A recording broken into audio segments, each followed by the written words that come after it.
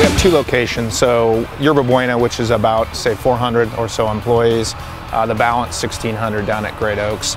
We have about 10% of the employees involved at uh, nine week mark, so very good start and getting lots of emails from employees appreciating the benefits of it, uh, both in terms of the fitness and wellness part, but also the community that it drives and, and the team building aspect of CrossFit. What, what you hear from people is, I'm meeting people I've never met before. So you meet them in a different context. It's not the hierarchical context of a corporation. So everybody comes in here, you're just working out. No structure.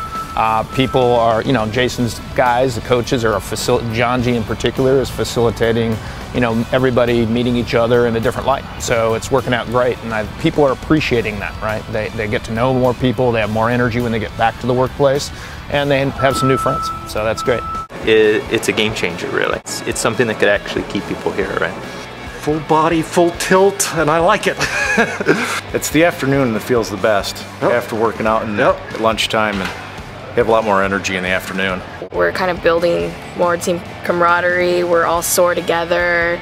Uh, we all joke and cheer each other yeah. on during the classes, so it gets pretty loud during our classes and stuff. So it's been a lot of fun. Awesome, awesome. It's the best thing that's ever happened as far as I've been here, and I've been here many, many years. Mm-hmm. And here we have about 20 people doing CrossFit right now. So we have 20 people doing CrossFit and about 30 to 40 people a day use this center. 30 to 40 people a day use this just between 11:30 and 12:30. So we're putting through four times as many people a day through CrossFit as they are as the regular fitness center. We spend a lot of time at work, right? And so we, in fact, we spend more time at work than we do at home.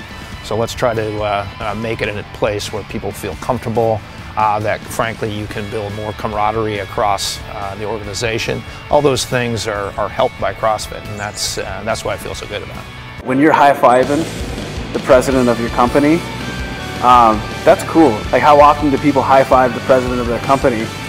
What CrossFit brings to me from a community perspective, obviously you get the sort of camaraderie, but you also get the feeling of being part of a team in the same way I did in, in uh, sort of a team sports environment. Uh, and all the other forms of working out I did over the years, I never got that. It's more sort of isolated on your own. Uh, so to be able to do that, and, and it is all about, you know, you, you drop the hierarchy, uh, you're just having fun and doing stuff together.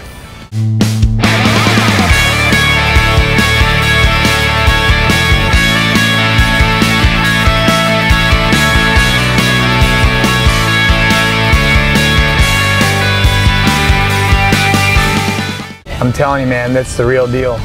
Mike and his staff and the rest of the people, they, they get it. You know, they get what CrossFit can do for the culture and they get what CrossFit can do for just the overall productivity of the employees. That they have just so much more energy, they have less sick days, all that good stuff. He gets it. So it's awesome to see it it's refreshing because a lot of companies, I think, are stuck in this rut and uh, of corporate wellness and whatnot. And he gets it, so it was great.